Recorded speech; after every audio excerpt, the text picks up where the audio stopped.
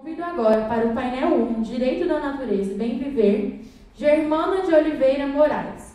Possui graduação em Direito pela Universidade Federal do Ceará, mestrado em Direito Público pela Universidade Federal do Ceará e doutorado em Ciências Jurídico-Políticas pela Universidade de Lisboa.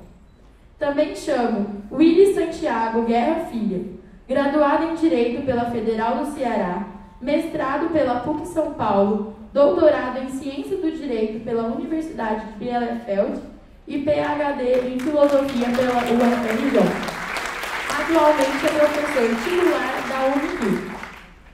Também convido Antônio Carlos Volkmer, formado em Direito pela Universidade do Vale do Rio dos Sinos, especialista em Metodologia do Ensino Superior pela Unicinos, mestre em Ciência Política pela Universidade Federal do Rio Grande do Sul e doutor em Direito pela Universidade Federal de Santa Catarina.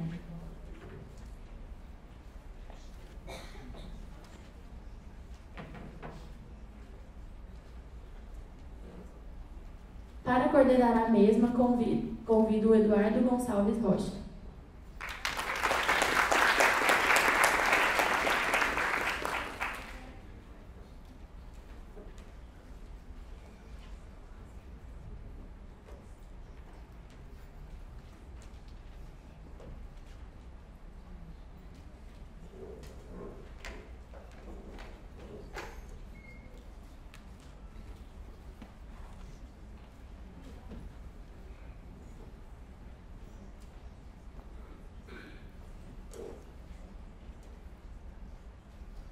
Olá, gente, boa tarde. Então, para iniciar nosso painel do dia de hoje, eu passo a palavra inicialmente para o professor Antônio Carlos Pouco.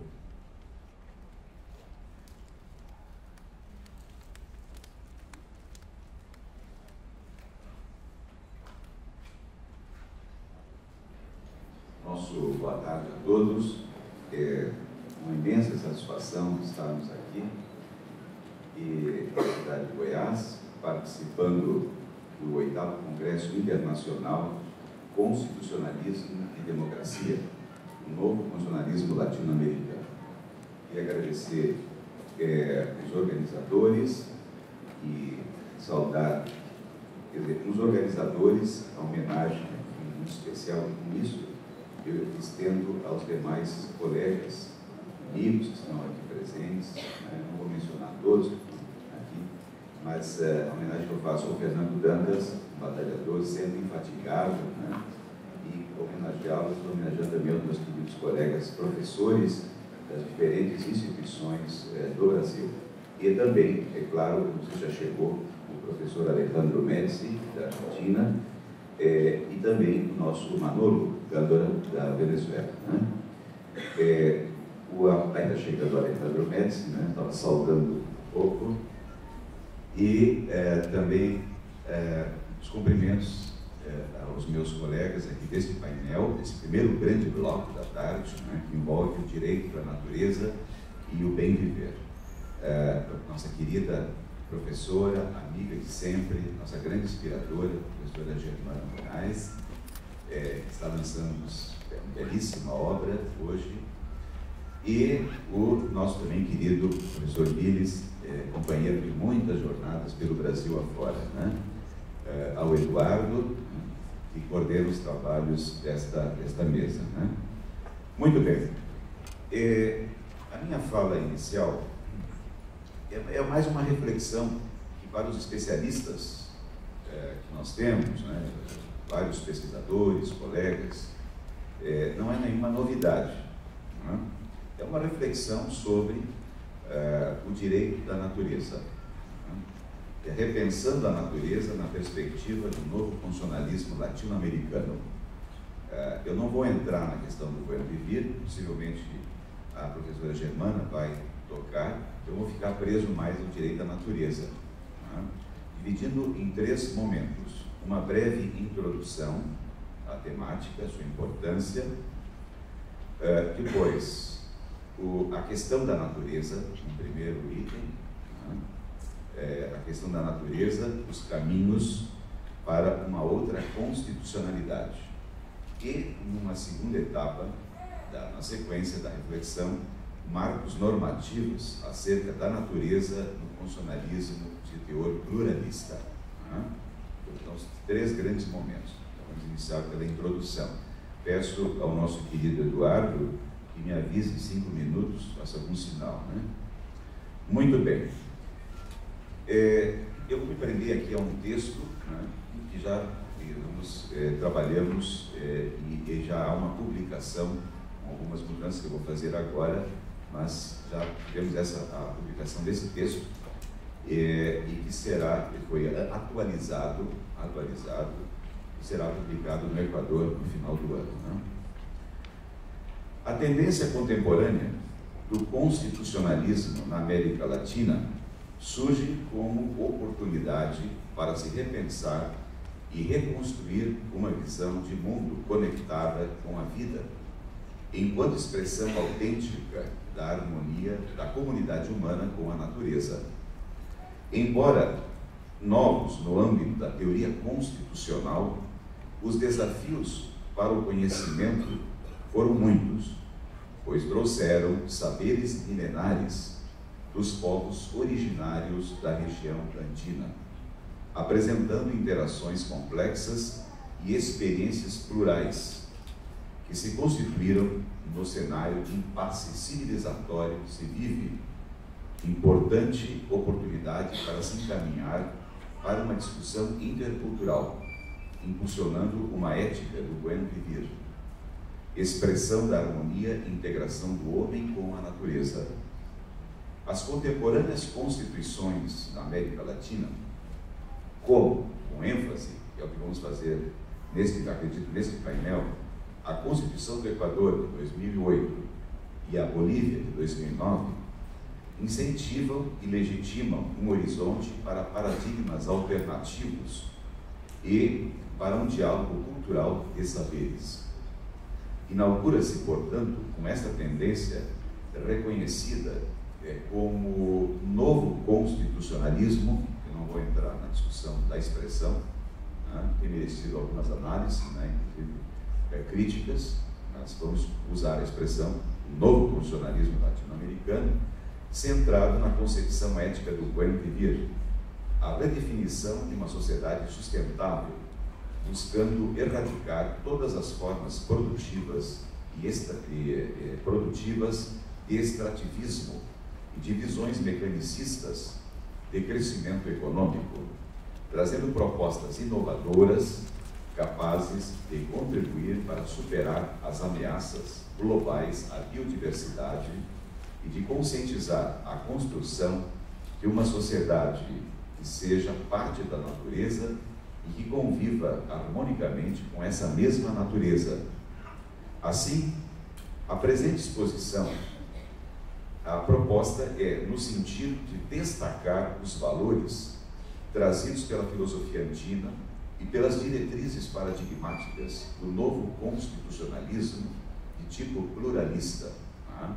Também nós vamos ter tempo agora, mas é uma outra, seria uma outra discussão da terminologia. Pluralismo, perdão, constitucionalismo transformador, constitucionalismo andino, constitucionalismo democrático, as diferentes eh, denominações que eu trabalho nessa perspectiva de um constitucionalismo pluralista esses princípios conduzem a avanços para a releitura uh, de nossa condição civilizatória, contribuindo para um outro tipo de desenvolvimento menos interessado no material e mais centrado no bem-estar dos seres vivos e na qualidade do meio ambiente, o que implica na reordenação da visão de mundo como a prática de vida pós-materialista enquanto dimensão da comunidade integrada à natureza, preservada e cuidada em seus bens comuns.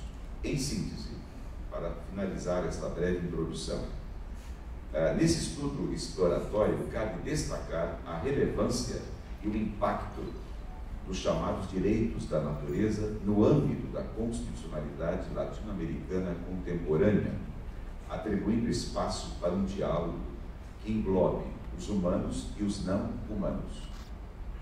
Iniciando o primeiro tópico, acerca é, de uma discussão sobre esse conceito de natureza, né? os caminhos que nos permitem avançar para uma outra constitucionalidade. Muito bem. Inegavelmente, um dos temas de grande controvérsia das ciências humanas, especificamente da teoria do direito contemporâneo, é conceber a natureza como um sujeito de direitos.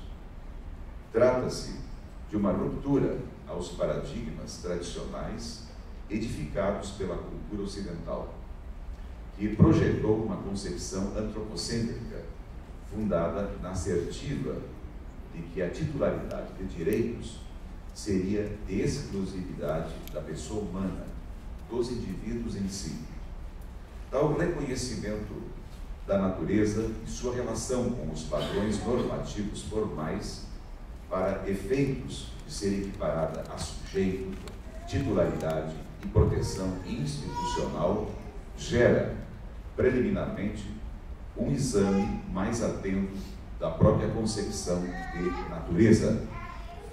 Assim, a natureza pode ser examinada sobre múltiplos critérios, ao mesmo tempo que cumpre distintos objetivos no âmbito da sociedade. Nesse aspecto, a natureza assume, na ampla discussão do ambientalismo, um núcleo referencial em diferentes posturas interpretativas da realidade social, o que permite e abre uma rica diversidade de perspectivas, que inclui desde a totalidade dos processos físico-biológicos, englobando organismos vivos e inertes, até propiciar, ora, uma interpretação neutra Ora, uma conceituação determinada por uma relação polêmica de caráter ideológico, metafísico ou inclusive espiritual. Para além da compreensão de suas especificidades físico-biológicas ou materialidades objetivas, o conceito de natureza, e aí lembrando autores como Eduardo Dutinas, é uma construção social que resulta ser uma categoria própria dos humanos e é estabelecida sob uma gama de parâmetros sociais e juízos de valores, que demonstra a íntima relação do conceito de natureza com as relações e com a sociedade humana, sendo produto de um contínuo processo de mudanças e adaptações. Tal verificação permite entender a tradição na modernidade ocidental da existência de dualismo homem e natureza, bem como da interdependência em que a natureza acaba sendo sempre reduzida e submetida ao ambiente humano. Assim, em diversos momentos históricos da modernidade eurocêntrica, como passando pelo Renascimento, Iluminismo, Revolução Industrial, evolucionismo, a natureza foi trabalhada pela lógica racional e pelas diversas formas econômicas de apropriação e transformação do serviço do desenvolvimento, né? a serviço do desenvolvimento humano da natureza. Né? Essa dinâmica de exploração dos recursos e dos bens comuns da natureza foi trazida imposta na América Latina pelo processo monocultural e antropocêntrico da colonização. Naturalmente, este cenário começou a sofrer mudanças a partir das décadas 60 e 70 do século passado, com as conferências das Nações Unidas sobre o meio ambiente e desenvolvimento, como foi em Estocolmo em 1972 e Rio de Janeiro em 1992. E com o grande impulso criador dos estudos de ecologia despertando a consciência para a urgência é, da crise ambiental, da ameaça sobre a biodiversidade, das mudanças climáticas e das alternativas para uma outra sustentabilidade. O impacto das pesquisas interdisciplinares e do desenvolvimento técnico-científico acerca do meio ambiente propicia o resgate e a sistematicidade de propostas que trazem à tona uma concepção mais integral da natureza e de sua consideração como um sujeito entidade. Ou, digamos, num câmbio de paradigma, em que a natureza passa agora a ser reconhecida como sujeito e não mais como objeto de domínio e exploração humanas. Surge desse modo, para além das concepções utilitaristas, econômicas ou sistêmicas, a ênfase biocêntrica, ou como lembra a professora Germana, nos seus trabalhos, essa dimensão ecocêntrica. A ênfase acerca da natureza como área silvestre que deve ser protegida, como um superorganismo vivo de, é, de totalidade, e as interconexões, se formos pensar numa proposta Gaia, e como as invocações mesmo indígenas, de tradição indígena, de Pachamama. Uma vez eliminado tais questões, introduz-se a problematização apontada é, por Pietro Mendes e pelo colombiano Javier Alfredo Molina, né, autores que escreveram um livro sobre o direito à natureza, né, um colombiano, um equatoriano, onde eles tratam que a natureza como sujeito de direito. Né, e tema esse que, pois bem, levanta é, aspectos de grande valor é, inegáveis, consolidando-se assim né, é, no âmbito de textos políticos constitucionais, como principalmente o equatoriano de 2008. Nessa trajetória, lembra também Mário Melo, ainda que não tenha obtido reconhecimento constitucional em seus pares, deve ser mencionado as, as, as incursões ambientalistas de juristas que antecederam. É? Aí lembrando, por exemplo, nos anos 70, na, na Califórnia, Christopher Stone, no Chile, Godofredo Tutsin, acerca de direitos possíveis atribuídos à natureza. Também nos anos 80, o jurista suíço, né, Leibhacher, que já assinalava que o aspecto central dos direitos da natureza era resgatar o direito à existência dos próprios seres humanos. Não menos significativo, nesse esforço de proteção à natureza viva, foi a Carta da Terra, proporcionada pelas Nações, pelas Nações Unidas em 2000. Ademais, na evolução histórica, na ampliação dos sujeitos e direitos, o que se deve ter presente, segundo Alberto Acosta, Cada ampliação dos direitos é condição, é, anteriormente, é, certos temas, muitas vezes, na história, na tradição, eram impensáveis, né? é, mas que acabaram é, se materializando. Nesse, sentido, também Esperança Martínez lembra que algumas categorias, até algum tempo atrás, muitas vezes causava um estremecimento no campo do, do, direito, né, da teoria do direito, juristas tradicionais mas que depois foi incorporado né, e se tornaram como categorias né, é, essenciais. Né. Muito bem. Eu não vou ter tempo agora, porque já foi colocado o limite, né? mas nesse primeiro momento ainda teria que comentar o problema da tutela é, e da titularidade da natureza. Né? E aí eu lembro um trabalho, um artigo de Esperança Martínez, que é, produziu uma obra com Alberto Acosta, onde ela vai entrar nessa questão que é muito interessante, que agora não vou poder é, desenvolver, né? essa discussão da titularidade, da tutela da natureza. É, e, nesse texto mais completo, que vai sair no Equador no final do ano, nós temos uma versão em português, é, é, estamos desenvolvendo mais é, essa questão da, da tutela e da titularidade. Vamos para o segundo momento, né? é, mais alguns minutinhos, que é, é registrar assim, os marcos normativos acerca da natureza no funcionalismo latino-americano, nesse funcionalismo contemporâneo, né? é, chamado novo funcionalismo. Né? Eu lembraria, no primeiro momento, que a Constituição Brasileira de 1988, né, ela inovou é, com um aspecto doutrinário, com o seu artigo 225, né, é, estabelecendo a proteção e a garantia do meio ambiente ecologicamente é, equilibrado. Né. impondo ao poder público e à coletividade o dever de defender e preservar para gerações presentes e futuras é, o meio ambiente. Né?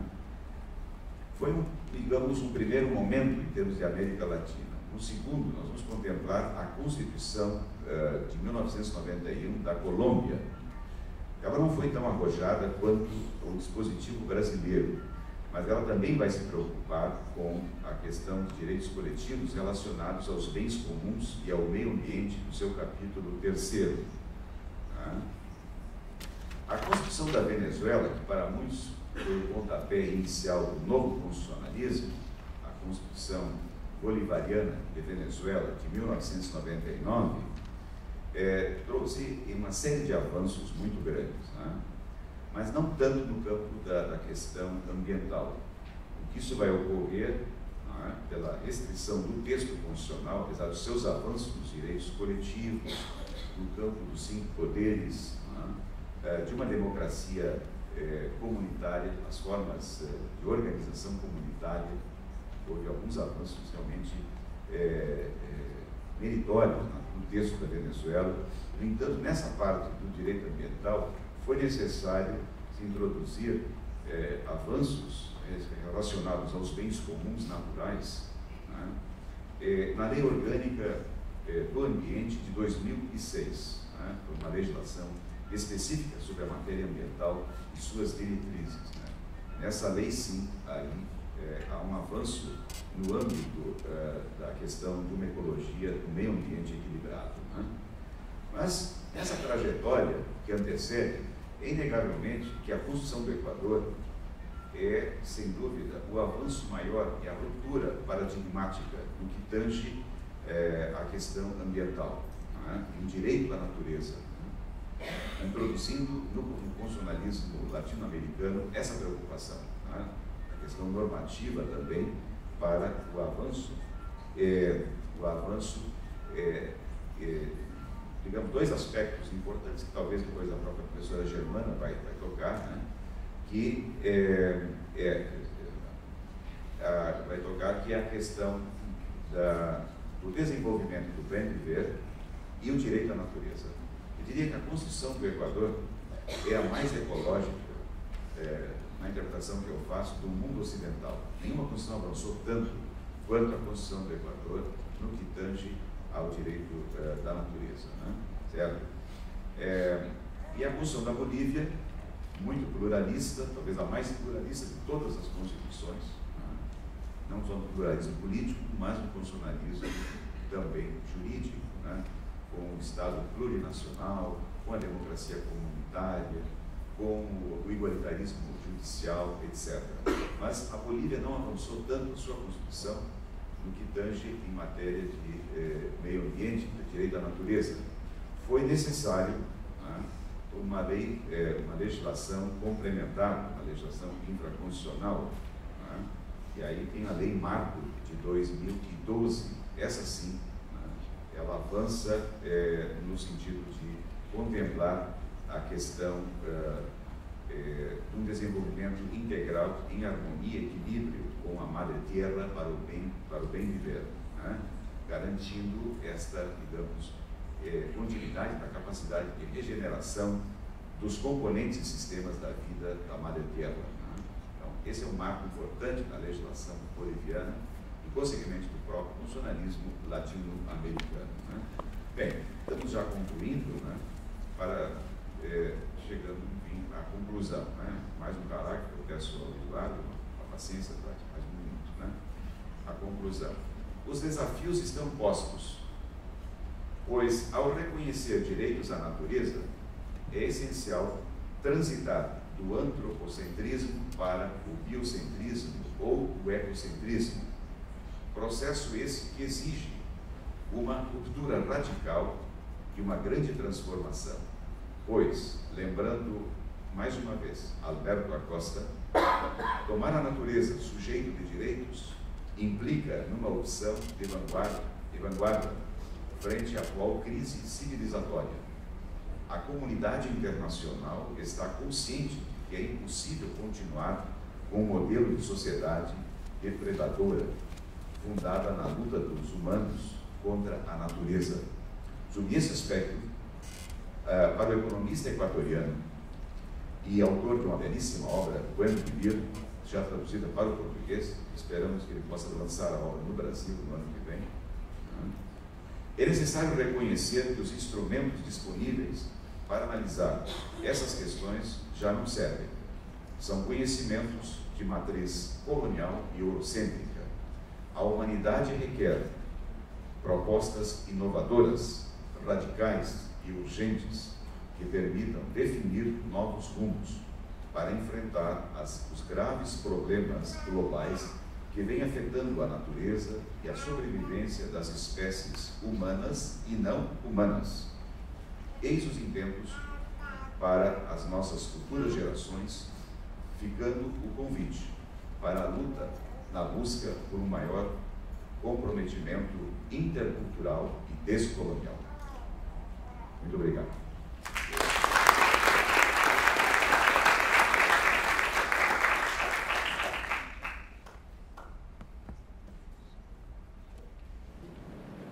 Vitor, a da auditória partilha.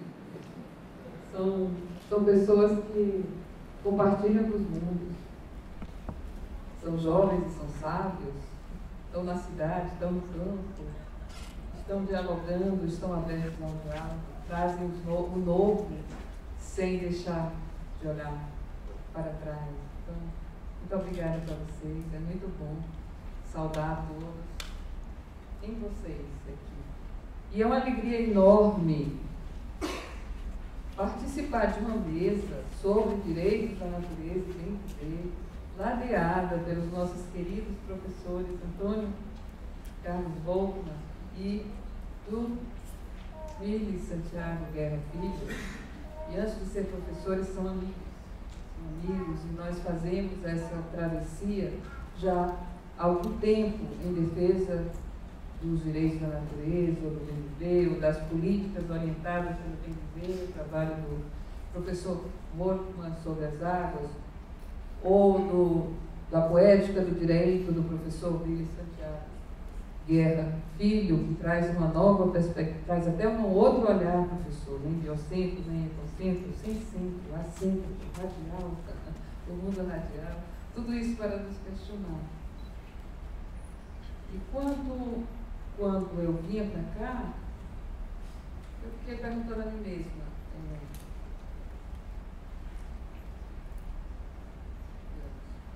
tomada por essa alegria de ter esses professores e tomada pela alegria de ter participado de um GT sobre esse tema e de ter tido os debates maravilhosos. Então, seguramente, dois fatores vão me orientar na minha fala nesse momento. As indagações e os questionamentos dos que estavam ali, na, daqueles e daquelas que estavam nos debates, e também a presença desses queridos, queridos colegas. Falar sobre direitos da natureza e viver parece algo cogente que seja feito um relacionado ao outro. No mundo todo, em algum, em, ou pelo menos posso dizer, em algum lugar do mundo neste momento, estão ocorrendo eventos como esse, tratando dos direitos da natureza, da Pachamama da Madre Tierra. E isso está sendo feito porque se voltou a olhar para o bem viver. E entre nós na América Latina, voltamos a olhar e a falar, a estudar o bem viver no direito, eu estou falando no direito, vocês prestarem atenção, por causa do novo constitucionalismo democrático latino-americano. Então temos de honrar e agradecer a atuação dos professores e professoras, alunos e alunas estão trabalhando este tema na América Latina e levando para o mundo todo, como estão aqui professor Mortman, como está professor Willis, como, Willis, como é professor Luiz Quadros Magalhães, o presidente da Rede Internacional do Constitucionalismo Democrático, a professora Tatiana, que está aqui, o Fernando nem se fala, é um dos articuladores, dos articuladores da rede. Nós podemos perguntar quais foram as contribuições do constitucionalismo democrático latino-americano para que hoje se fale sobre esse tema, ele esteja na agenda, na nossa agenda acadêmica, esteja na agenda política das Nações Unidas e esteja também na agenda política do Vaticano, do Papa Francisco.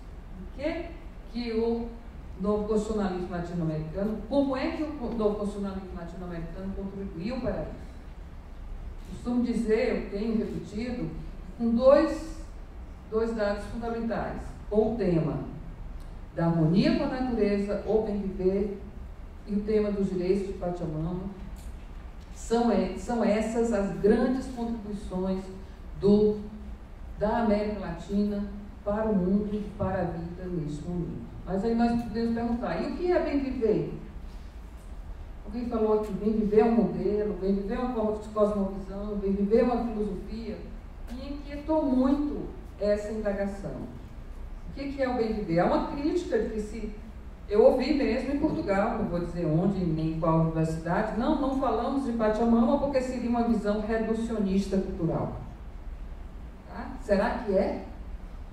Será que bem viver se resume a uma cosmovisão, que já é muito e que é uma cosmovisão belíssima? Vamos falar, é, primeiro que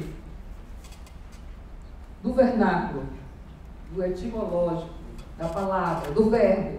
Tudo se cria, começa com o verbo, com a linguagem, com a nova linguagem.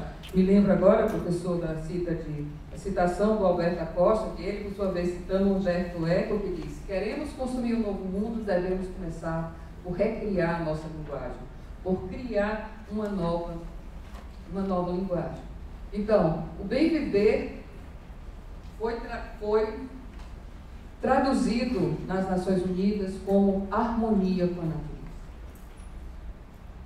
O professor Roliman já disse aqui que as constituições do Equador e as constituições da Bolívia trazem novidades no campo jurídico.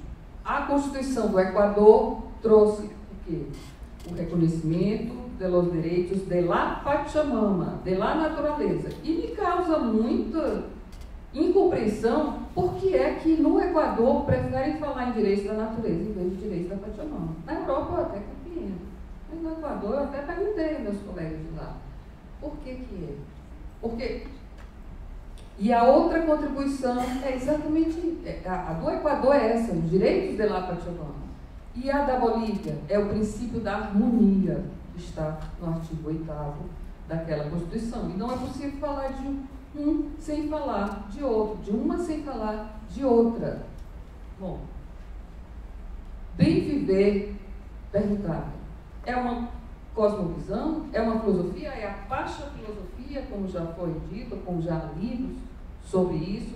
É uma cosmovisão? É uma cosmologia? Eu me lembro muito quando nós estávamos uma vez num, num evento do IANI, no Equador, que se algum dos colegas de, perguntou que a cosmologia do bem viver, e um colega professor saltou de lá e disse, calma, nós não temos cosmologia, nós não trabalhamos com logos. E aí nós temos cosmovisão. Tá, cosmovisão, visão. Bom, vamos ficar com a cosmovisão nesse, nesse tempo do caminho. E é uma filosofia, será que ainda não seria reducionista também? E chegamos a, a, com a provocação de Fernando Guanacuni Mamani, que até bem pouco tempo era ministro das Relações Exteriores na Bolívia, e é um dos grandes teóricos do bem viver, tem um livro sobre o bem viver boliviano, que tem um livro sobre o bem viver, a nos perguntar, será que é uma consciência, que ele chama de consciência pachamama? Uma consciência. Bom, os bolivianos foram até as Nações Unidas e fizeram a proposta de declaração do Dia Internacional da Mãe Terra, dia 22 de abril. A partir de então, o mundo começou a dialogar de forma mais sistemática sobre a temática do direito da harmonia com a natureza.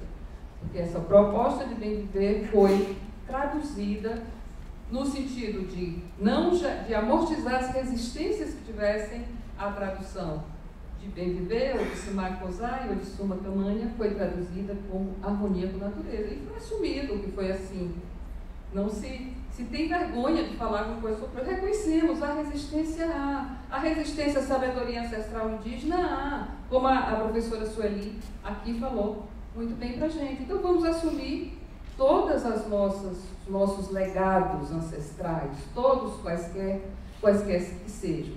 Então, começou em 2009, no âmbito das Nações Unidas, um, um programa, antes era uma iniciativa, hoje é um programa chamado Harmonia com a Natureza, que se fala sobre quem viver e que pretende que seja um embrião dos direitos da natureza, de la madre tierra ou de los, de los direitos de la Pachamama.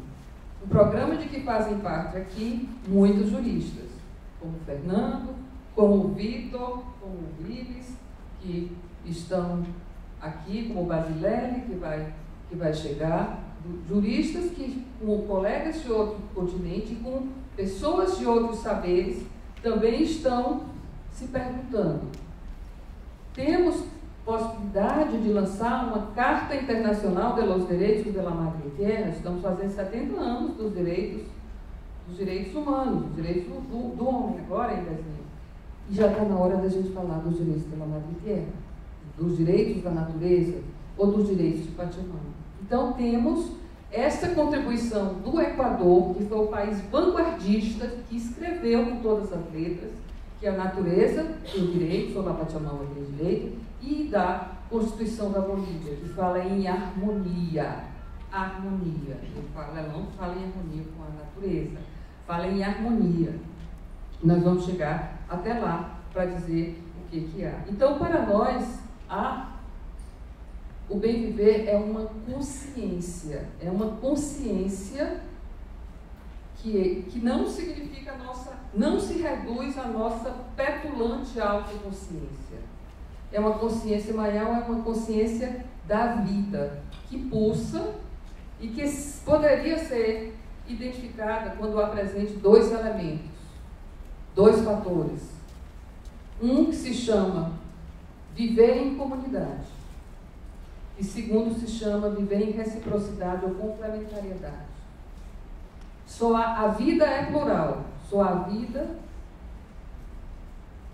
quando vivemos em comunidade e ela só brota e ela só persiste se vivermos em reciprocidade, em complementariedade, em solidariedade e em harmonia.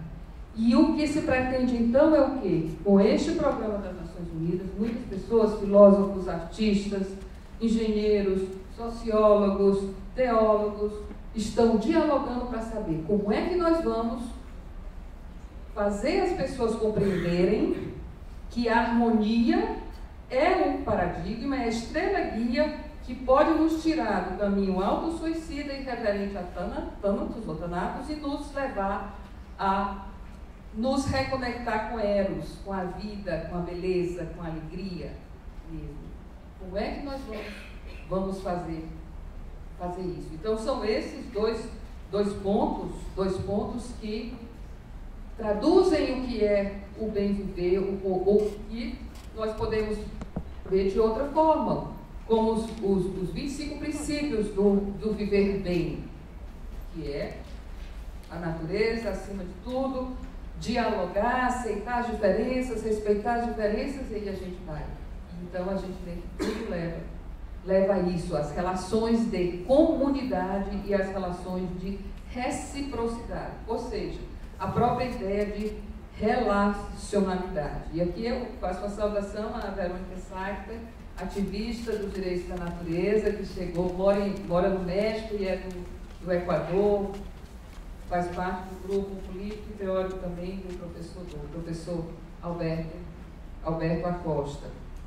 E compreendemos então que há muitos anos, aqui nos Andes, essa sabedoria ancestral que volta a ser valorizada, leva isso, considera isso no dia a dia, no jeito de ser. Não é conceitualmente, é no dia a dia, na maneira de ser.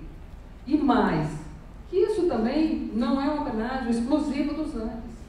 É uma herança ancestral comum à humanidade.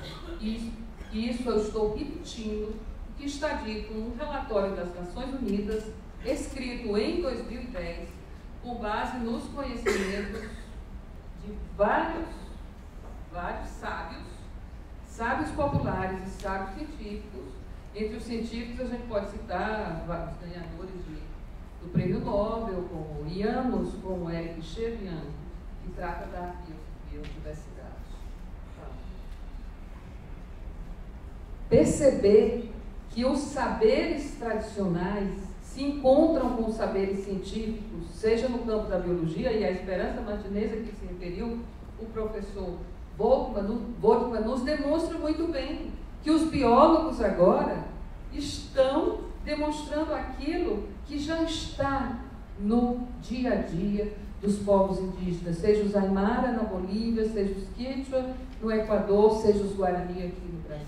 Tanto é, professor Quadro deve se lembrar, e professor Fernando também, que fizemos, já não sei mais em que ano foi, Fernando, foi em 2014, um dos congressos da Rede pelo Constitucionalismo Democrático Latino-Americano foi em Foz do Iguaçu, com convitante com o Congresso dos Povos Guaranis, numa estratégia nossa de fazer ver que o Nhanderecô é o mesmo BNP. É o mesmo BNP. E não é à toa que dessa presença, dessa consciência comum à humanidade, que nós chamamos de Patimama, e que se registrou no, no, no relatório das Nações Unidas, que assim é, porque ela, essa relação visceral entre o ser humano e a natureza, ela é simbolizada exatamente pelo símbolo da, da mãe, pela madre terra, pela madre terra. E nós estamos simplesmente tirando os olhos para ver o que é. Não estamos descobrindo pólvora, estamos apenas vendo que é assim que é assim nos Andes, mas é assim também com os Inuit, lá no, no, no Polo Norte. Quem escreveu isso foi Thomas Berry, que é quem está influenciando muito o programa das Nações Unidas, com a chamada Jurisprudência da Terra. Que essa consciência é a mesma consciência que está com os Maori, lá na Nova Zelândia, que deu e, e que também reconheceu os rios, reconheceu o rio como sujeito de direito, por força de lei.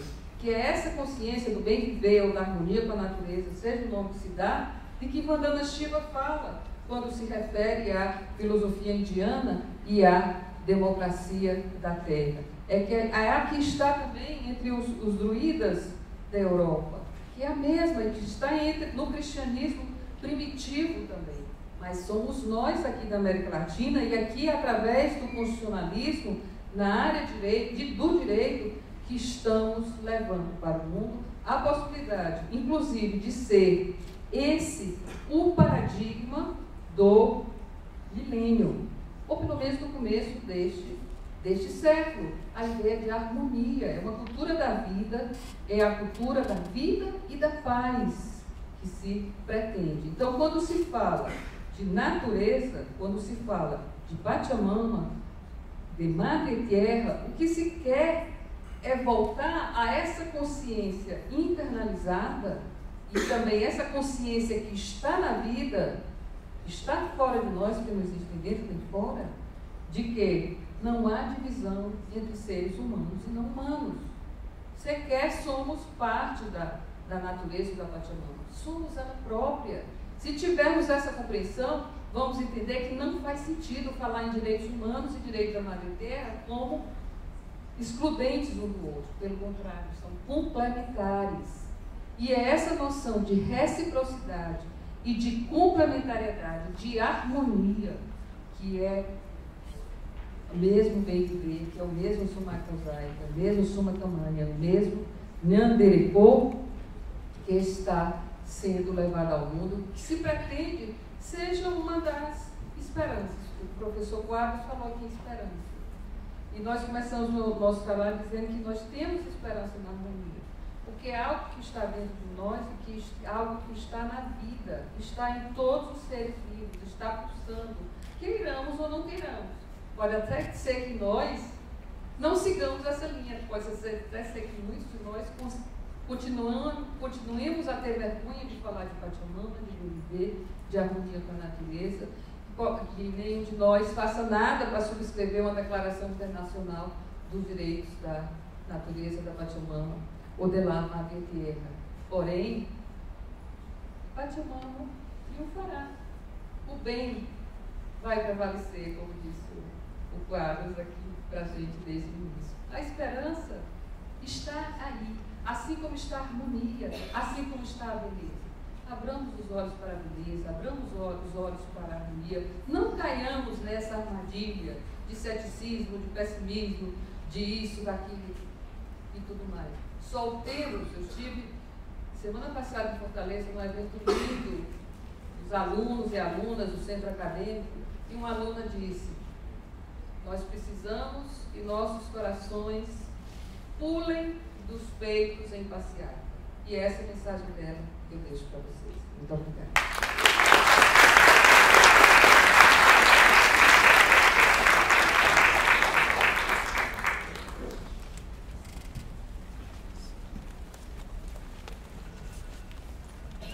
Ah, agradeço as palavras da professora Germana e passo a palavra para o professor Vives. Obrigado, Eduardo. Meus cumprimentos, eh, também aos demais amigos aqui na mesa, Ana, Ogna, e cumprimento aos demais presentes, na pessoa ainda não mencionada, mas por outro lado recém-chegada, querida amiga Maria Cristina Vidotti, que é uma conexão fundamental aqui com essa terra de Goiás, né, e com esse nosso movimento todo. É, também quero agradecer a, a organização por ter deslocado né, para painel, desculpar, não é, participar do, do momento em que está previsto e também não falar sobre o que ali se propunha. Tempo fico feliz porque tive, tive, a impressão de que estava sendo convidado a falar novamente sobre que em outras edições deste congresso eu falei, né? mais ligado a esse meu passado é, processualista constitucional, né? Eu, eu já estou me situando assim, assim em edições, entendeu? Então, a minha edição agora não é mais essa, né? Embora esse livro continue sendo reeditado, esse é o meu best-seller. Já, já tem sete edições, agora sete é, é número, é quanto me tirou né, lá no Nordeste, mas parece que são sete mesmo. O, livro que foi a, a minha tese de cátedra, de titularidade da nossa faculdade, né? uma, uma cátedra né, ainda bastante rara, que eu saiba, nas universidades federais que é de direito processual constitucional, chama processo constitucional e direitos fundamentais. E esse que eu nem venho mais atualizando. Eu reedito sem atualizações, porque eu tenho a impressão que as atualizações dessa matéria no nosso país não têm sido muito, digamos assim, felizes. Né? Eu acho que esse país ele tem um grave problema né, do país, que é um problema do país, um problema do nosso direito, resulta em um grave problema para a nossa sociedade que está bem evidente, penso hoje para, para ela, ao até pouco tempo atrás, que é que se chama Supremo Tribunal Federal. Né? Então nós temos uma deficiência tremenda, é uma deficiência por é, é, hipersuficiência, para usar o termo que eu aprendi agora no nosso painel, e temos agora a categoria do, né, dos empregados que são hipersuficientes, não são mais os hipossuficientes. Então nós temos um hipersuficiente, um hiper, né, mais do que suficiente, Supremo Tribunal Federal, que liquida a possibilidade de alguém ter uma discussão é, desenvolvimento adequado campo tão importante do direito, que é o processo constitucional, que é, é a, é a tutela dos direitos fundamentais, do que se incluiria por que não? Claro, evidente, se intuiria, eu defendendo isso. Tem um capítulo nesse meu trabalho, desde a primeira edição, né, que foi a, a, originária do concurso, em 98. Lá tem um capítulo sobre tutela da natureza, a gente chama natureza. E, lá se discute é a questão do direito à natureza. Tá, citando o Christopher Stone, né? tinha publicado já na Califórnia um texto já clássico. É, Should trees have standing? Se as árvores deveriam ter legitimidade processual. Deveriam né, ter, esse. Então, deve, deve, deve, tem, sim, claro. É, questão lá dos lobos marinhos, lá na Alemanha, também, adentar essa defesa deles, como titular de direitos, sujeito de direitos. E lembrava também algo que eu acho que ainda é bastante é, interessante ainda hoje, que é uma obra do Michel Serre, o Contrato Natural. Né? Essa ideia. Eu tenho um outro texto, sempre que não só nesse momento histórico que vivemos, precisamos estabelecer esta, esta harmonia né, com a natureza, através de um contrato, que é uma ficção, que é difícil. Não é difícil. Né? Não, um contrato, um contrato artifício, né? É, é, o artifício do contrato. Né? É bonito o livro do Sérgio, não sei se já leram. Né? Ele fala da necessidade de se ouvir a natureza. Né? Ele fala como ele sentiu que essa possibilidade existe durante um terremoto na Califórnia. Né? Ele viu a Pachamama falando ali manifestando, e brava. Né? Eu já passei por um terremoto na Califórnia, por acaso. Né? Então, o. É,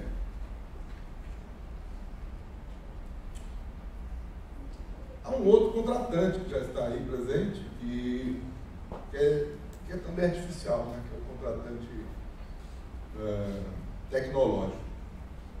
É, hoje o contrato se fazer, se fosse pensar, há de se pensar um contrato sócio é, é, natural e tecnológico. E claro, esta colocação da Germana já nos mostra que enviou uh, a entidades que nem são naturais e também precisariam, de algum modo, ser é, buscadas. São entidades invisíveis e é, culturas ancestrais, mantendo contato com elas, que a nossa perdeu. Nós perdemos a nossa cultura dita moderna.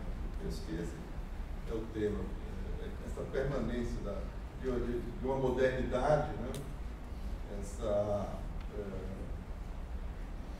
é, extensão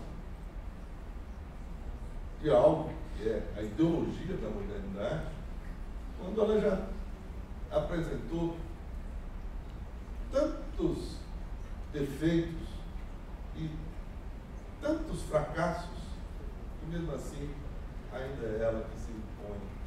Isso, por exemplo, dificulta, né? faz com que se precise ter, como você lembrava agora, coragem, como dizia o nosso palácio, né? proferir uma sentença reconhecendo os direitos de um rio na Colômbia, ah, dizendo que bastava ter coragem. O que, intimida? O que, envergonha? O que, que, afinal de contas, uh, atua contra algo que é rigor. Você lembrava também uma, um episódio que eu falei da importância de se não jogar fora o Hoje nós estamos, por acaso, me parece, vivendo um momento da história que tem que jogar na lata de lixo aí da história, onde é que foi parar o positivismo. O contexto político, eu me lembro, eu ainda vivia muito tempo da ditadura, né? vivemos como estudantes, inclusive, de direito, e naquele momento da ditadura, o positivismo era manual. Porque você, pelo registro positivista, você podia puxar não é, uma obediência do poderoso, que queria ser arbitrado, que não queria se limitar, nem que fosse por algo que ele próprio arbitrariamente já tinha estabelecido. Num certo momento, e depois, é, com interpretação, claro, opor a arbitrariedade que está posto. Então, veja, o, o, o nosso grande né, identificado por nós, teórico do positivismo, que é Hans Kelsen. O que é o direito subjetivo? Aliás, para Kelsen, esse é o primeiro, primeiro ponto. Né? É, o Kelsen, ele, ele, ele, ele, combate a própria ideia de direito subjetivo. Né? Então, para ele, diria Kelsen, não é só na, se a natureza não tem direito direito, não, os humanos também não têm. Não tem direito direito. Porque há um direito objetivo. E esse direito objetivo ele é, é, indica como um centro de imputação normativa o que ou quem, o que mesmo, que ou quem teria aquilo que nós chamamos de direitos subjetivos, usando um, fazendo um uso metafórico da linguagem. Essa é o, o, o não sou o né, como sabe, ou não se sabe mais tanto, são autores. Kels é, Kels é um fenômeno, é um fenômeno, sim, merece até ser estudado. Normalmente, no primeiro dia de aula, se ouve falar do Kels dos meus pais. Parece que o fenômeno pouco se repete, se repercute, se replica por aí, não só aqui no Brasil e adjacências. Né? Algo que se sabe que não se tem na Europa, não se tem na Alemanha, nem na Áustria. Aliás, eu sei que não tem na Áustria, não tem tanta diferença. É, é, tanta consideração por esse autor. Não que não mereça consideração, mas é algo diferente do que a consideração que é o Brasil. É, então, quer dizer, ele mesmo, esse autor, você tem essa colocação, mas você tem um outro autor, que era muito conhecido, discutido há mais tempo, nos anos 80, aqui no Brasil, 70, que é o Alf também um positivista, de um outro positivista. Tem um livro delicioso chamado Tutu, onde ele, utilizando a abordagem da, da, da nova filosofia da época, né, que ainda é nova, a filosofia da linguagem, mostrava como, na verdade, isso está também no livro dele, Direito e Justiça, é apenas um uso da um modo de nós usarmos a linguagem. A Germana também mencionaram na fala dela. É, e, e isto, de, de, de, dos modos como a linguagem se apresenta, é o que somos, segundo essa concepção é, da filosofia, que é a concepção contemporânea. Quer dizer, em filosofia, contemporaneamente, já houve o deslocamento do antropocentrismo. Essa, essa, o antropocentrismo, esse, centrar no sujeito humano, na subjetividade humana, o que antes tinha sido centrado na subjetividade divina. Né? o primeiro sujeito desses termos foi a própria divindade, né? na tradição né? prevalece, prevalece no Ocidente. E depois, como diz o livro, matam Deus, expulsam Deus, mas não acabaram com o lugar que ele ocupava. E o que é pior, aquele lugar passa a ser ocupado pelos humanos mesmo.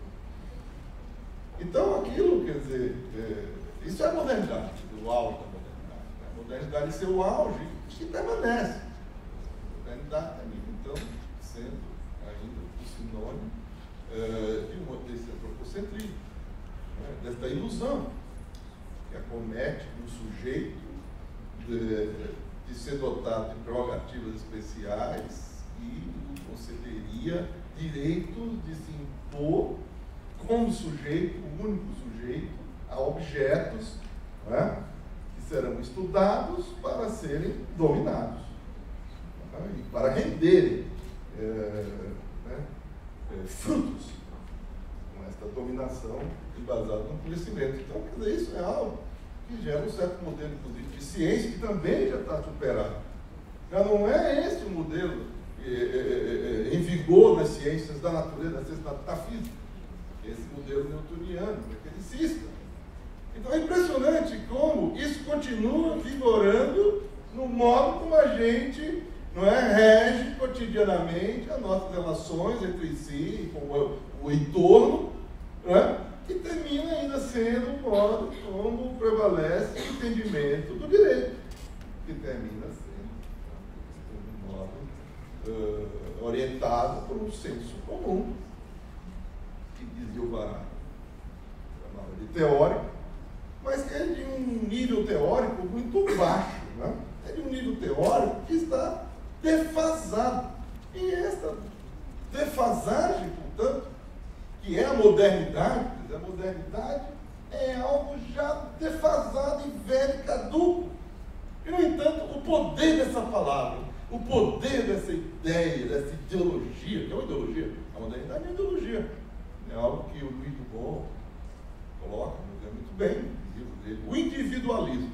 Luiz Dubon é um antropólogo francês, interessante, estudou índia, na Índia, né? Tipo, antropologia na Índia, escreveu obras clássicas, né? Homo Equalis, é, Homo Erar, e escreveu esse conjunto de ensaios que ele publicou, foi publicado aqui no Brasil, chamado Individualismo, Estudos da Ideologia Moderna. Moderna é ideologia. Né? E, e, e, olha o que, que ela nos propõe. Né? É, essa ideia bastante nefasta e nociva mesmo, destrutiva, né, de que o bom é o novo. E quanto mais novo, melhor. E, portanto, o velho, e quanto mais velho, pior.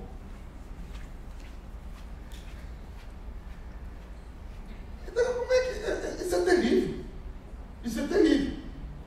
Quer dizer, do ponto de vista do, do que significa viver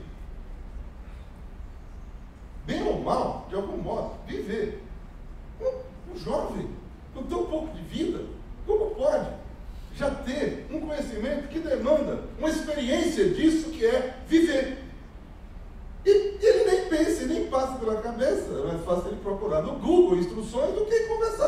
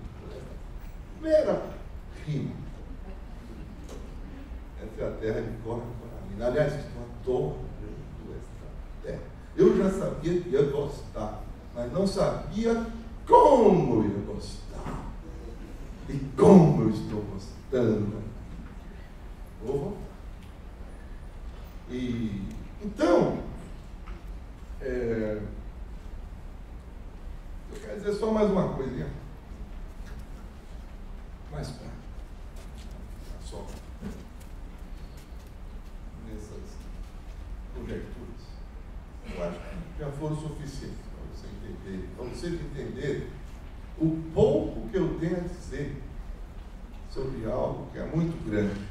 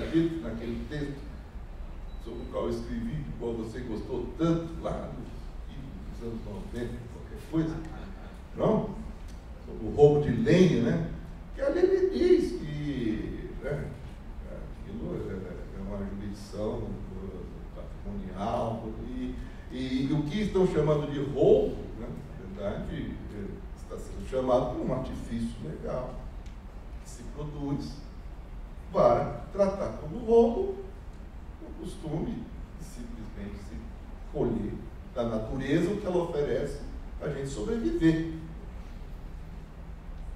Então, o tempo acabou e eu penso que a mensagem ficou. A gente precisa ver como disputar para que processos naturais, que a inteligência e a genialidade da natureza,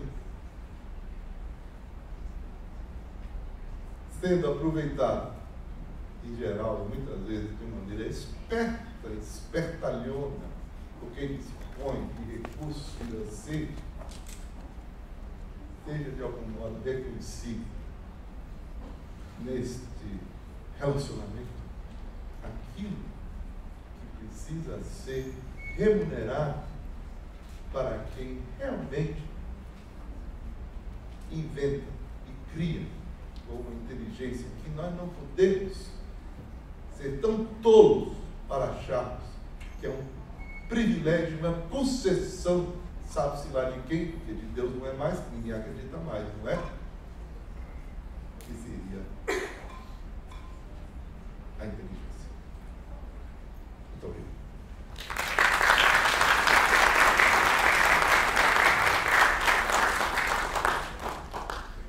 Gostaria de agradecer as palavras do, do e abro para um bloco de três perguntas, é, bem sucinto, em razão do tempo.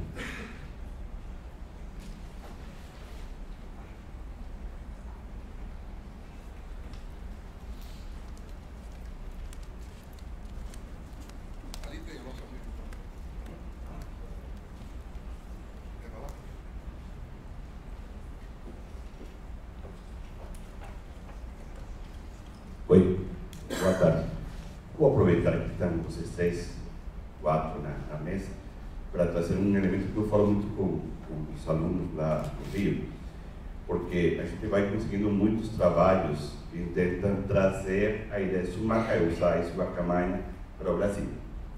E aí eu sempre digo, oi, mas cuidado com fazer essa transposição para não repetir uma espécie de imposição cultural, um elemento que não é próprio do Brasil, se você fala nesses termos. Então, tem aí, acho, um elemento não só de caráter teórico, mas também de caráter metodológico, que é pensar, ah, como é que tem que ser feito um constitucional, novo constitucionalismo no Brasil a partir da ideia de uma causa e uma camada. E aí eu fico aí dizendo, eu acho que isso não é assim. A ideia seria procurar quais são as referências culturais próprias do Brasil que recuperam essa relação de harmonia, não só com a natureza, mas também com as pessoas, eh, etc e a partir daí é que um novo constitucionalismo deveria ser pensado. Mas, como eu estou tentando legitimizar minha posição, por isso estou fazendo a pergunta para vocês, tá? Obrigado. Bom, boa tarde a todos e a todas.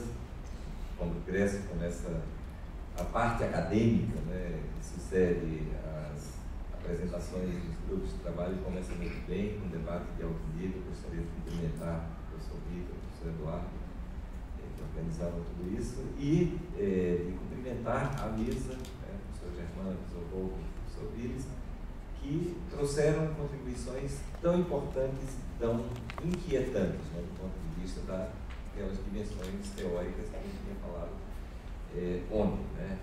Manuel Gandara, Simak Kausai, Sumakamani e Nyandereku.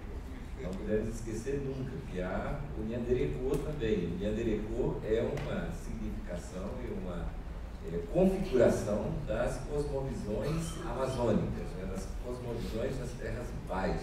Né, Não, mas a minha teoria é que tem que ter muitas outras. Isso, mas, isso, mas, isso, mas deixa, deixa, cada povo indígena. Deixa eu, deixa eu concluir somente, no Compere que fizemos agora lá no Equador, esse foi um dos temas mais palpitantes do debate. Né? Quer dizer, que o Sumac Causai, Sumacamanha e Menderecô poderia ser uma espécie de reedição da cruz. Né? Quer dizer, então isso é, afunilaria e chegaria a, a, a uma reedição né? de uma dominação de uma cultura sobre as demais. Só que a gente esquece também né, que uma das metodologias que orientam, por exemplo, as cosmovisões indígenas na dimensão constitucional é a interculturalidade. Né? Então, o Nyandereco, o Sumacamanha e o Sumac Kausai têm como metodologia necessária o diálogo intercultural, o diálogo entre as culturas que estão trazendo né, essa dimensão positivada né, nas constituições de cosmovisões de povos e de comunidades. Né? Quer dizer, quando eu citei ontem a Lina Pacari, numa eh, colocação extraordinária no Congresso da Relaju, recentemente no Chile, né, que a Nina Pacari diz, ó, incidiu, está positivada nas constituições e tem uma, teve uma metodologia de diálogo. Né? E a gente não pode esquecer essa metodologia de diálogo intercultural que permeia né, a ideia de bem viver naquelas dimensões que a, que a Hilda Santigualinga, né, a mãe é, do, Gualinga, que foi um dos orientadores né, do Sarayaco, né, indígena Sarayaco equatoriano, né, quer dizer, foi quem disse, né, foi quem disse lá nos debates constituintes a, do Equador, Verônica Sá, que vai falar amanhã, foi quem disse aquelas 13 dimensões do buen vivir. O que é? Saber trabalhar, saber dançar, saber comer, saber amar e receber amor. Quer dizer, então, são uma série de eh, dimensões eh, que configuram essas cosmovisões que eu acredito que o Willis chamou a atenção para um dado importantíssimo, que dialogaram de modo muito inteligente com a teoria eh, kelseniana né, de direito e atribuição de sentido a um determinado direito objetivo. Né? O Raul Yassag Fernandes, no seu livro, né, que foi a tese de doutorado, é, defendida agora recentemente é, em Coimbra, do Boaventura de Souza Santos, traz a metodologia da interrelacionalidade e diz com todas as letras: olha, vocês escolheram alguns objetos sobre os quais recaem a subjetividade jurídica nós escolhemos também alguns objetos, entre eles a natureza. Quer dizer, a natureza que deixa de ser essa, de ter essa visão de objeto e passa a ter a visão do sujeito, e a Cristiane Mitterrand disse isso num evento na Justiça Federal feito com o UFC, o FG e a Universidade Federal de Santa Catarina, que todo esse movimento é um movimento de ressubjetivação, não somente da natureza, mas ressubjetivação em muitas dimensões. Então, eu acredito que há uma importância muito grande nisso, e desculpa, Manuel, é, colocar esse elemento, porque ele é muito importante, porque o Willis trouxe outros elementos, tanto o diálogo com Louis Dumont, né, que é um autor importantíssimo, né, um autor que fala dos renunciantes e demonstra como chegamos na cosmovisão moderna a essa ideia de individualismo e individualismo antropológico, quer dizer, um antropólogo que não é muito lido, é muito esquecido, e as pessoas de direito deveriam se debruçar sobre ele. E o Michel Serres, no Contrato Natural e na Filosofia Mestiça. Eu acredito que são bases críticas que eu acredito que são importantíssimas para a gente debater hoje, porque é uma espécie de fazer aquilo, cadê o Zé Luiz? Fazer aquilo que o Zé dizia ontem, olha, nós temos consciência de que é, inscrever direitos na Constituição é uma limitação é, é, é, é uma limitação é, moderna, né? a Constituição está é, para a modernidade, assim como outras dimensões lá estão para espirituais, as espiritualidades, né? quer dizer, mas nós trazemos agora, sabemos que estamos usando esse instrumento hegemônico, mas estamos dando uma é, configuração contra-hegemônica, como diz o Boaventura de Souza Santos, né? usa contra-hegemônico categorias hegemônicas. Eu acredito que é bonito esse debate e gostaria de dizer para o gostei muito desse resgate é, disso e dizer que o, a produção teórica a esse respeito, ela é significativa. Eu acredito que o Raul Yassag Fernandes, quando propõe né, uma metodologia da interrelacionalidade do âmbito constitucional, que já supera a ideia que a gente estava tendo como muito é, é, avançada, que era a ideia da interseccionalidade, né, é algo que é produzido nesse âmbito de reflexão e nesses âmbitos de reflexões que estamos fazendo aqui. É, nem precisaria dizer que o resgate de direitos e, e, o apego a direitos positivados e aquela ideiazinha lá, direito alternativo, né, da dogmática de combate, hoje é mais do que nunca uma ousadia e um avanço sabe, contra os retrocessos.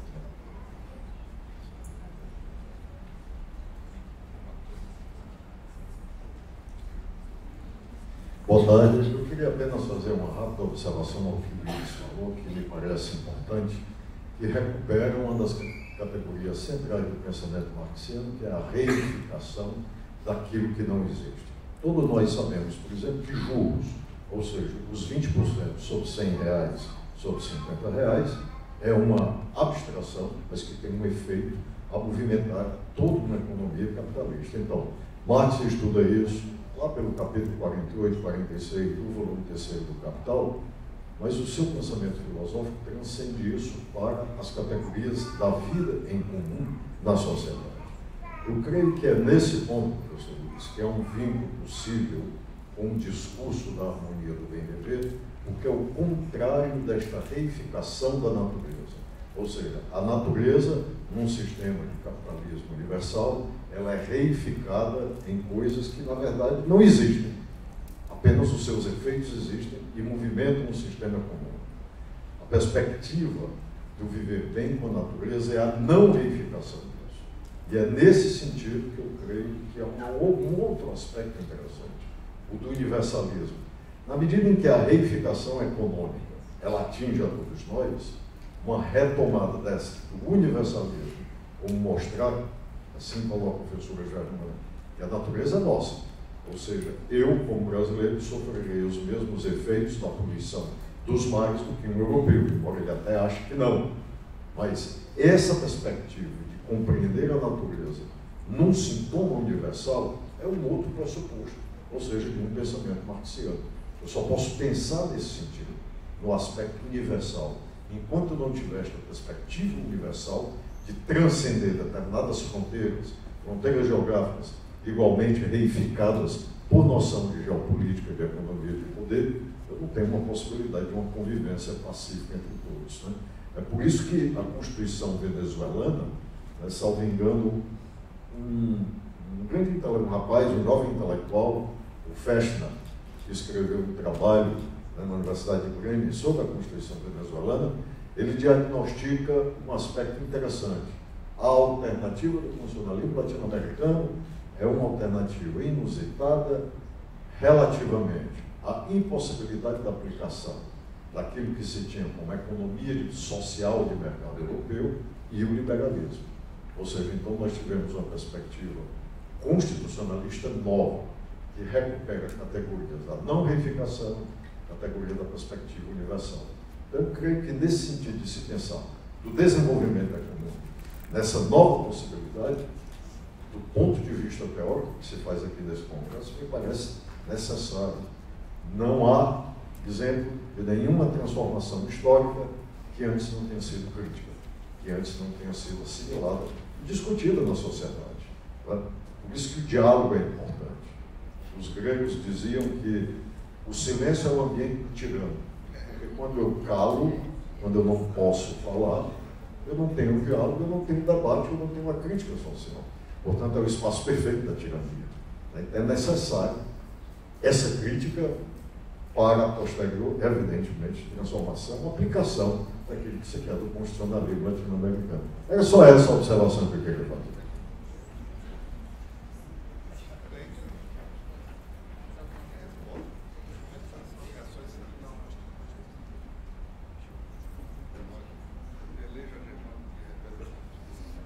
Agradeço as perguntas. É, passo a palavra para é, as pessoas. Na ordem. Na ordem. Sim, e só atento ao tempo também, porque temos outra mesa. Bem, as, os questionamentos foram é, extremamente ricos, né? e responder ao Manolo, responder ao Fernando, ao Antônio, enfim, é complicado, né? Em pouco, temos aí dois, três minutos para cada um. Né? Eu diria assim que é, o processo de colonização foi imposto na América Latina desde a primeira forma de colonização, a colonização ibérica, né? talvez a primeira no mundo ocidental, feita pela Espanha e por Portugal, né? no século XV, XVI, é, isso é, inaugura uma nova fase da, dizer, que dá base à, à modernidade ocidental, né? a colonização, a colonização do mundo, a outra face, digamos, do reverso da, da própria modernidade. Né? Nesse cenário, nós vamos notar coisas que as grandes potências é, ocidentais, a própria França e a Inglaterra, no século XIX, é, expandiram as formas de colonização. Né? A, a, os processos de colonização, é, no âmbito das diferentes instâncias da cultura, né? É, nós vamos perceber também no, no contexto da, da, da, produtividade jurídica, do sistema normativo, de uma cultura monocultural. Né? E isso se dá no transplante do mimetismo é, de uma tradição jurídica na América Latina. Né? Essa reprodução é, é profunda no âmbito pedagógico, né? É, de reproduzir. E o constitucionalismo não escapou né? como uma das grandes doutrinas né? clássicas do liberalismo jurídico ocidental. Nós vemos diferentes fases. Aí o, próprio constitucionalismo criouxo, a partir da independência das antigas colônias da América, né? o constitucionalismo social, é, o constitucionalismo do pós-guerra, chamado neo, uh, neoconstitucionalismo ou constitucionalismo garantista do pós-guerra, na segunda metade do século XX, e é sem dúvida que o novo constitucionalismo latino-americano abre uma perspectiva enriquecedora. Não é mais um mimetismo, de um transplante, como a, nós vivemos a nossa cultura, a cultura jurídica é uma cultura de transplante e mimetismo. Basta ver que ainda hoje nas faculdades de direito, em diferentes áreas, né, é, se tomam como princípio sempre alguns autores. Numa faculdade lá no Sul, o professor abriu uma perspectiva muito interessante para os alunos do direito, né? ou seja, vamos ministrar o curso, um curso sobre teoria da justiça, o mais completo né? no século XX, teoria da justiça, e passou o semestre todo trabalhando John Rawls, né? a teoria da justiça do John Rawls. Quer dizer, esse mimetismo está no direito processual, no direito civil, no direito penal, essa reprodução maciça nas faculdades do direito de autores eurocêntricos. Mas isso é romper com a modernidade? Nós não precisamos romper, mas temos que é, ir mais além, reconhecer uma identidade própria latino-americana. E o novo constitucionalismo, acho que foi expresso na fala aqui nesse painel, acentuando essas grandes novidades, como direito à natureza, o plano vivir, a, a, dimensão de outros temas que nós não vamos poder a, abarcar. Possivelmente os outros colegas amanhã e sexta vão trabalhar, quem sabe, a questão do Estado plurinacional, a dimensão de uma democracia comunitária, né? é, o próprio pluralismo jurídico, enfim. É, penso que, a partir das inquietudes do Manolo e do Fernando, nos leva a que há elementos, sem dúvida, nessa tradição latino-americana, nós não precisamos importar, não precisamos copiar eh, das tradições eurocêntricas, ou anglo-norte-americana, eh, europeias. Né? Isso é muito forte em alguns intelectuais, jovens intelectuais, que se jogam para os grandes centros da Europa e voltam como iluminados, né? falando uma linguagem esotérica, cabalística, reproduzindo o eurocentrismo. Né? Temos que buscar esta dimensão é, de uma identidade nossa, periférica, desde o sul. Nada melhor do que o bom viver, um direito à natureza. A América Latina é muito rica em propostas é, que causaram, digamos, uma admiração do norte, do norte global, como foi a, a, teoria, a teologia da liberação dos anos 60, 70, a teoria da dependência, a própria filosofia da libertação, quer dizer, não foi necessário imitar, copiar o, o, o, a cultura eurocêntrica.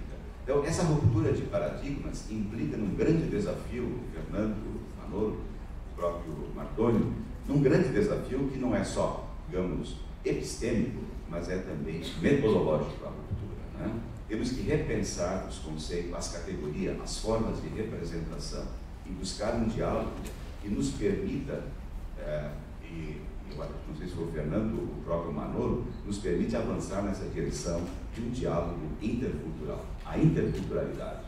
Né? No campo pedagógico, é, na América Latina, teve um grande avanço, né? indo mais além do próprio multiculturalismo, de tradição liberal, canadense, norte-americana, europeia. A interculturalidade, tão bem trabalhada, por exemplo, autores na América Latina como Catarina Walsh e outros, o próprio cubano Paulo Fornelli Ventura, etc, etc. Né? Então, o desafio está aí. Quer dizer, como compatibilizar essa linguagem do bom viver, viver bem, direito à natureza, Estado plurinacional, pluralismo jurídico, né, com a nossa realidade de tradição afro, fortemente afro no Brasil. Né? Acho que é a preocupação mostrada pelo Manolo e pelo Fernando, que vai de encontro muito que vem sendo feito pelo César Valde aqui no Brasil. Né? É abrir um diálogo né, que transcenda a partir das tradições dos povos originários, tão forte em países como México, Guatemala, Bolívia, Equador, Peru, para a realidade afro, própria do Caribe, do, de uma Colômbia do Pacífico ou do próprio Brasil. Né? Esse diálogo intercultural. Então, isso implica uma mudança de paradigmas. É, não foi tocado aqui, mas a, a, a questão do, dos 10 anos, o balanço Talvez nesse congresso possa se fazer rapidamente o balanço do bom viver, do viver bien, da própria Constituição do Equador, né, que completa 10 anos, né, é, os avanços, os aspectos positivos do bom viver, né, que também a Germana tem se colocado e defendido né, com muita propriedade. Mas eu diria assim, algo para se pensar, não sei se nesse congresso, né, nesse balanço, a apropriação, a manipulação do bom viver como princípio, por determinadas forças, entre aspas, ditas progressistas na América Latina, manipulam uma energia, né, um princípio tão forte, tão ativo de integração, de equilíbrio, é, apropriado, é, é apropriado é, pelo mercado, né, pelo capitalismo, né, e ditos regimes muitas vezes progressistas na América Latina, que não são realmente é, progressistas autenticamente se apropriam do conceito e usam no mercado, na propaganda, no oportunismo de alguns governos é, é, latino-americanos. Né? Enfim, acho que é triste a gente falar isso e reconhecer em tempos difíceis, né? tempos difíceis. Eu acho que não é o momento de ficar criticando agora as, democra as democracias populistas latino-americanas, que me parece que já tiveram sua, seu auge. A grande era das democracias populistas talvez essa palavra pode ser questionada, mas eu diria assim, tristemente, né? Passamos por momentos vitoriosos na América Latina, que tão cedo, eu acho, dificilmente vai ser repetido, né? e que não foram aproveitados devidamente. Não foram aproveitados. O governo uh, progressista no Brasil não aproveitou o auge da sua popularidade para grandes transformações radicais que se esperavam. Né? O governo de Evo Morales, hoje, nós sabemos o que está acontecendo na Bolívia. Rafael Correias, né? enfim, é, o tempo está passando e uma nova onda né? é, tenebrosa né? está se visualizando no mar. Mas eu acho que cabe a nós é, apostar nesse bom viver num espaço de democracia e de resistência. Né? É, e ouvindo a Germânia fica tão contagiado né, pela questão do bom viver. Né? Eu acho que, sem dúvida, eu acho que esse é, é, é um potencial, uma energia que nos permite avançar no diálogo no Sul, né? trazendo o ponto da África e um certo equilíbrio que nós vamos encontrar na felicidade na Ásia. Né? Alguma, talvez algum, alguns elementos do taoísmo, do, das tradições orientais. Né? Eu acho que esse diálogo é fundamental. Aquilo que já, já Raymond Panica já visualizava numa hermenêutica diatópica, que Boaventura, digamos, incorpora isso, não é? certo? esse diálogo da interculturalidade. Talvez seja uma resposta, Manolo e Fernando, para esse avanço né? e o cuidado na importação, na incorporação de conceitos e categorias. E como trabalhar isso numa dimensão, numa sociedade capitalista, burguesa, de tradição conservadora, individualista como a brasileira. Como trazer esses conceitos e socializá-los e trabalhar em tempos de resistência.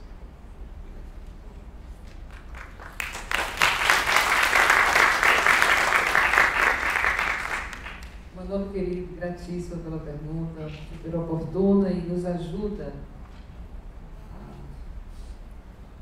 repensar, rever o tema, aprimorar o discurso, aprimorar as, as, as falas, e, enfim. É, Fernando disse o que eu ia dizer, falou de interculturalidade. Era a resposta que eu É que lá na, na Universidade, a Dina Simone está inaugurando agora uma maestria em interculturalidade, paz e direitos da natureza. Não há como tratar esse tema sem a interculturalidade, que é um princípio da Constituição do Equador também. A resposta do Martoni lembrar também. A interculturalidade, sim. Que, porém, que sai em algum momento a gente tem que pensar em transculturalidade. Você chamou aqui de universalismo. Mas para pensar esse tema, para escrever sobre esse tema, para falar sobre esse tema, para sentir esse tema, sinto eu que precisamos, antes de tudo, mudar a nossa forma de perceber o mundo. A palavra que eu usei hoje com, com o Billy, espero que estava certa, com o psicólogo aqui, mudar a nossa gestalt. Né? E vem o que você falou, Billy, é muito parecido com uma coisa que eu escrevi. Nós estamos com as lentes científicas desatualizadas, vencidas, estamos com lentes vencidas na ciência. E eu, eu falo na ciência biológica, falo na ciência física e falo nas ciências humanas também. Estamos com essas lentes vencidas, temos que atualizá-las de alguma maneira. E quando as atualizamos, nós nos encontramos com saberes ancestrais. E aí a gente vai cair na inclusão do tempo, mas aí é outro, te outro tema. Ouroboros é outro tema, não vamos, não vamos para ele. Bom, e vem, como é que nós vamos atualizar essas lentes? Vamos ser pragmáticos. De onde se partiu uma proposta evolucionária foi dos Andes, gente. Quem teve coragem de colocar na Constituição que a natureza tem direitos foi o povo do Equador, foi o constituinte do Equador, sob a presidência do, do Alberto Acosta que é economista, e teve a coragem, um país pequeno, de bater lá nas portas das Nações Unidas e falar sobre harmonia e propor que o mundo todo conversasse e tivesse um novo paradigma, foi a Bolívia nos anos. Quem teve a coragem de julgar também que um rio é um sujeito de direitos foi lá em Vilcabamba, no Equador, e foi na Colômbia, onde o juiz Palácio, Ivan Palácio, disse, respondeu a uma pergunta a um juiz da Justiça Federal do Brasil, um evento aqui, um outro evento da Justiça, que houve da rede no ano passado, e Antônio estava presente, me lembro aqui, invoco o testemunho de Antônio, se perguntou qual era a condição para um juiz reconhecer os direitos da natureza. E ele respondeu. E você estava perguntando dentro de legitimidade, de estar ou não positivado, enfim, a resposta dele disse, só há uma condição, Ter coragem, ter valor, ter coragem. Ter coragem. Quem está tendo essa coragem? Aqui, sobre as estrelas do, do Cruzeiro do Sul. É uma questão pragmática mesmo que nós temos. E o, o, sonho comum de todos nós é sair, por isso que eu não falo em paradigma, é sair desse condicionamento que nós temos de ter de escolher entre um e outro. Que é Quartz explica muito bem na questão do binário. É superar isso. É trans, é o trans, né? Que a física já alcançou, que a biologia já alcançou, e nós do direito. Como é que não vamos alcançar? Não interessa qual é a denominação que a gente faz. Eu, o nome que eu vejo hoje é harmonia. Nome que é, que é exatamente a complementariedade, que é o que sucede na natureza, na vida selvagem. O amigo estava lá em Fortaleza, temos um livro do Afgano para restaurar, obrigado por trazer aqui um Budo, o Basilélio Malomano vai chegar aqui, vai falar sobre relação em Budo também e, e bem viver o nosso colega dos, não, brasileiro é do Congo, mas o nosso colega sul-africano, não estou me lembrando dele, autor do livro Direito Selvagem. E o Ramiro disse, você não gosta do termo direito selvagem? Eu eu gosto. Gosto muito do termo direito selvagem. Eu não gosto de jurisprudência da terra. Por que, que a ONU tem que falar de jurisprudência da terra se foi aqui, na Bolívia, no bem viver, na harmonia com a natureza, que levou esse tema ao mundo?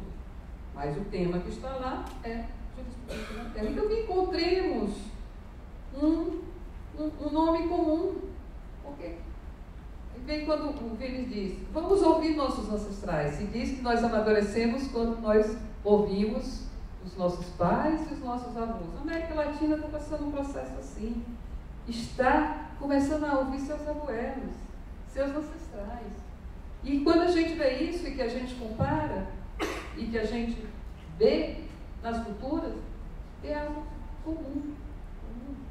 E que pode guiar a nossa vida, o nosso dia a dia. Nosso dia a dia, não estamos falando no sexo dos anjos, não, estamos falando do dia a dia. Da gente estar aqui e ter uma pessoa que se preocupa como é que você vai, como é que você não vai, você está bem, é, que se preocupa em fazer algo que que a gente tem um tempo livre para descansar. Isso é bem viver. Se preocupa com o que, que a gente vai comer, uma comida feita em casa, uma comida caseira. É algo que é muito mais palpável. De luz a gente está cheio. Ninguém quer saber mais de iluminismo, não. A gente quer da terra. A gente quer saber mesmo é, é, do, é do abraço, como fez a Verônica, que, que trouxe, que trouxe para a gente. É isso que eu queria falar.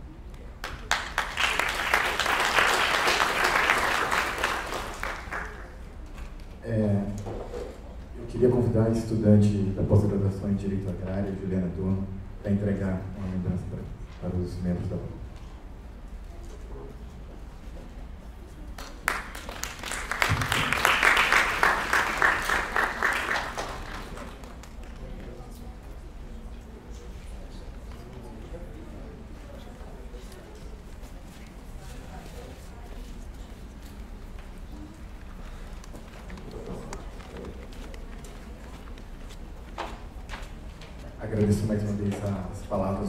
Professores e declaro encerrado o painel.